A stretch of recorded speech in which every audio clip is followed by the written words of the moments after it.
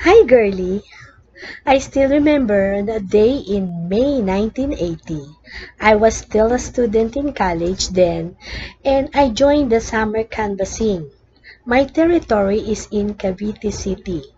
I happened to pass the place where your mom and dad resided because I have some collection for the book sale. Your dad told me that your mom was about to deliver a baby. Then after a few hours, the little cute babe came out. You were so tiny that I loved to cuddle then. After I graduated from college, I taught in Dinalupihan Adventist Elementary School in Bataan. Your mom and dad came to school because they were looking for the church school nearby their present district assignment. I am honored to be your first grade teacher. You stayed with me during the school days and your parents came to pick you up during weekend. Well, Girlie, as we often call her, was a smart, friendly little girl. Of course, as a first grader, she enjoyed caring and playing with other children. She was learning how to be independent since she was away from her family. After a year, they were transferred to Cabanatuan City, her mom's hometown.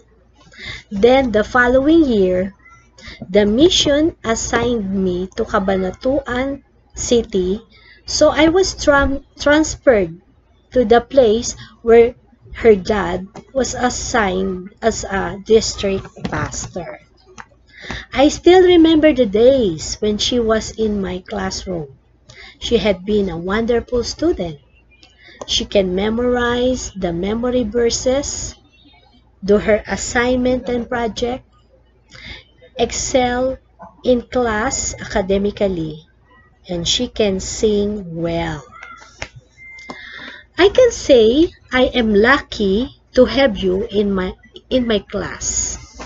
And now I am proud of you because you have been successful in your career. I am glad that you use your talent for the Lord. Continue your deaf ministry. Who knows, after I retire, my after I retire from my work, I can join you also in your missionary work. One of my greatest achievements as a teacher is the role that I played in forming you into a wonderful person you have become today. I will always be proud of you. May God give you long, healthy, and self-satisfying life ahead.